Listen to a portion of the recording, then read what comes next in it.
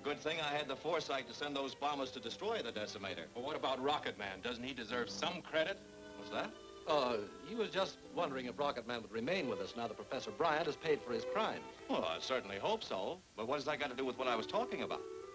Nothing. Nothing at all. Well, then, as I was saying, this fine administration will see New York City rebuilt into the greatest, the most wonderful, the finest city the world has ever known.